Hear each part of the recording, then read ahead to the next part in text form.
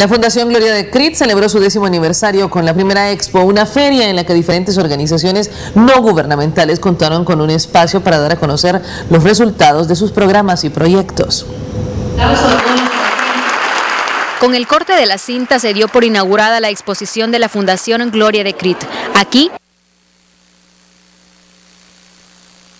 Los asistentes tuvieron la oportunidad de conocer los seis programas que reciben apoyo permanente de la Fundación.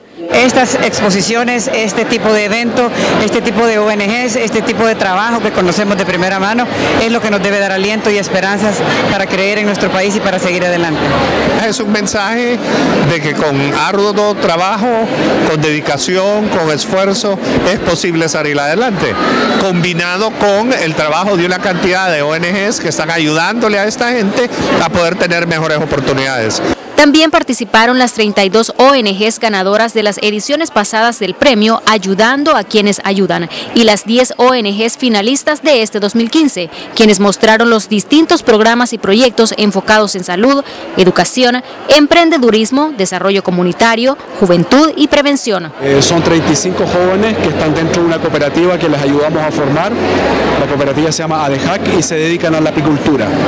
Eh, en los últimos dos años han tenido muy buenos resultados. Nosotros no ha cambiado la vida, la verdad, porque estamos generando ingresos. Eh, nosotros ya estamos continuando los estudios, aunque la mayoría lo había dejado por las razones económicas.